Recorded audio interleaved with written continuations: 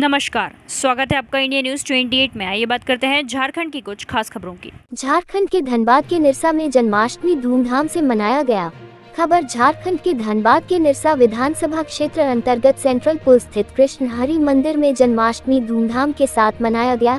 इस अवसर पर श्रद्धालुओं की भीड़ उमड़ पड़ी। मंदिर कमेटी द्वारा मंदिर को भव्य तरीके से सजाया गया। रात के 12 बजते ही सभी श्रद्धालुओं ने कृष्ण जन्माष्टमी मनाया। कमेटी के सदस्यों ने बताया कि हर साल की तरह इस साल भी कृष्ण जन्माष्टमी भव्य तरीके से मनाया जा रहा है।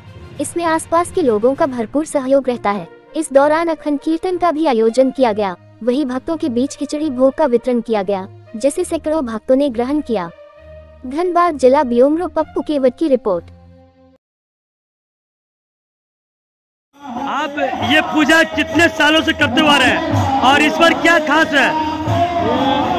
साल है और बहुत ही अच्छा लोग कर रहे हैं और इसमें सभी का सहयोग रहता है कॉलोनी वासी और दूर भी सभी लोग का सहयोग रहता है और बच्चे भी बहुत सहयोग करते हैं सभी लोग सहयोग करते हैं और क्या साल है?